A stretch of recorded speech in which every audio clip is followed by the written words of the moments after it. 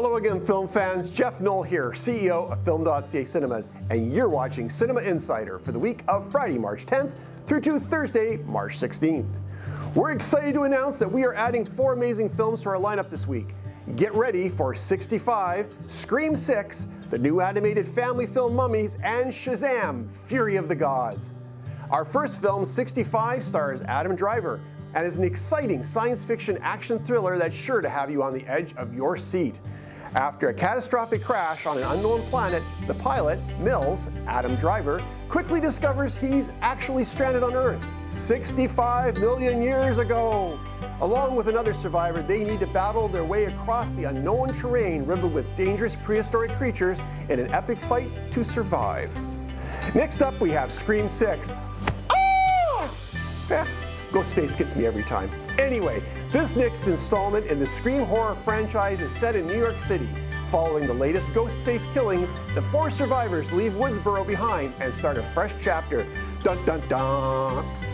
Next we have Mummies. And no, this is not a movie about your mom. It's mummies as in ancient Egypt, bandages, and the River Nile. Mummies follows the fun adventures of three Egyptian mummies who live in a hidden underground secret city. Through a series of unfortunate events, the mummies end up in present-day London and embark on a wacky and hilarious journey in search of an old ring belonging to the royal family, stolen by an ambitious archaeologist. Shazam! Oh well, had to give it a try anyway. Starting next Thursday, March 16th, is Shazam! Fury of the Gods.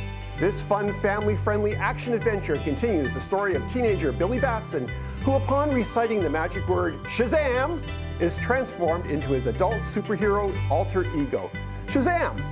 Now, if that wasn't enough, we have some exciting events and announcements coming up. We have a special Oscars 95 live stream coming up on Sunday, March 12th, hosted by yours truly. It starts at 7 p.m. and you won't want to miss it.